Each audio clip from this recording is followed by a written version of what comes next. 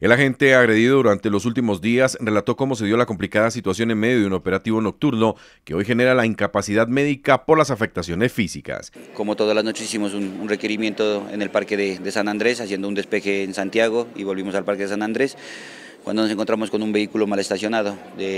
resulta que pedimos la documentación del vehículo y el vehículo estaba con su documentación vencida casi desde, desde el 2019. Entonces llamamos ahí mismo a, nuestras grúas para poder inmovilizar el, vehículo. Se nos acerca un señor en, alto estado de, alicoramiento y nos dice que el vehículo es de él, que le colaboremos. Eh, antes de, de levantar el vehículo, el compañero de la grúa no quiso proceder porque se nos acercaron casi 10 personas en estado de embriaguez a tratarnos de agredir primero verbalmente y como nosotros estábamos haciendo caso, caso omiso a las, a las agresiones verbales, decidieron agredirnos físicamente, pues yo siendo casi uno de los más lesionados, recibiendo un hervido caliente en mi cara, pues la verdad lo que más me afecta son mis ojos.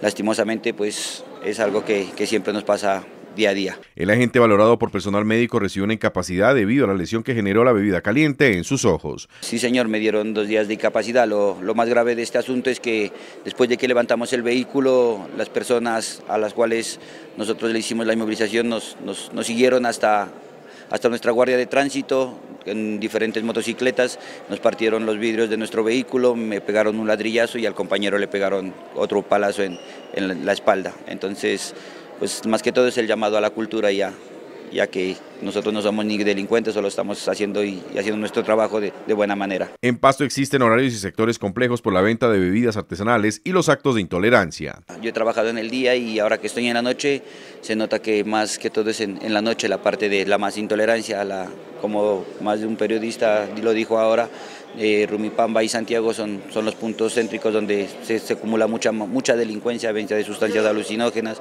el alcohol y lo que nos identifica a nosotros como pastuzos, pues no sé, es el chapil que nos, nos está enloqueciendo, la verdad, los servidos nos está enloqueciendo. Las autoridades con fotografías y videos de cámaras de seguridad esperan dar con los responsables de la agresión al personal de la Secretaría de Tránsito y Transporte de la capital.